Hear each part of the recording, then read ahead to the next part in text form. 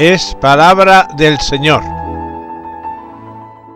En aquellos días María se levantó y se puso en camino de prisa hacia la montaña, a una ciudad de Judá.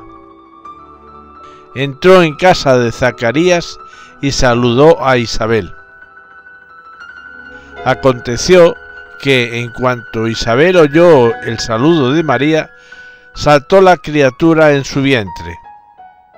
Se llenó Isabel del Espíritu Santo y levantando la voz exclamó, Bendita tú entre las mujeres, y bendito el fruto de tu vientre. ¿Quién soy yo para que me visite la madre de mi Señor? Pues en cuanto tu saludo llegó a mis oídos, la criatura saltó de alegría en mi vientre. Bienaventurada la que ha creído, porque lo que le ha dicho el Señor se cumplirá. En aquel tiempo María dijo, Proclama mi alma la grandeza del Señor, se alegra mi espíritu en Dios mi Salvador porque ha mirado la humildad de su esclava. Desde ahora me felicitarán todas las generaciones, porque el poderoso ha hecho obras grandes en mí.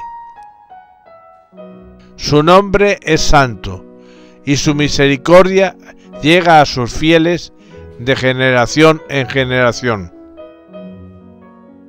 Él hace proezas con su brazo dispersa a los soberbios de corazón, derriba del trono a los poderosos y enaltece a los humildes.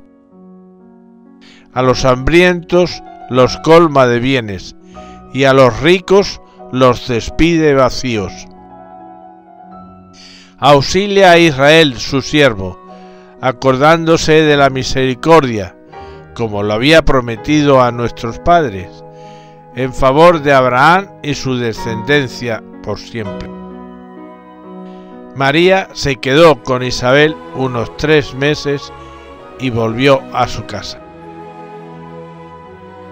Palabra de Dios.